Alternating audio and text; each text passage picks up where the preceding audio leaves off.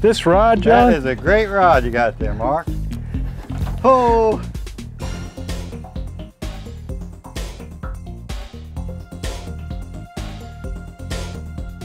This is great. It's a monster. Oh, Mark.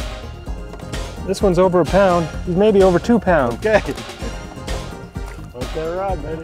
That's a great little rod. Yeah, this rod is makes that just, rod? this is an Enders ultralight, five and a half foot. Light. I gotta get me one of those, baby. It is a ball. Oh, look at that thing go. Oh, man. How many pound test you got, Mark? I don't know, three? Three pound. I think this is bigger than the last one. Look at that guy go. On. That's unbelievable. I can't land him. Yes. Look at that one, man. that's beauty.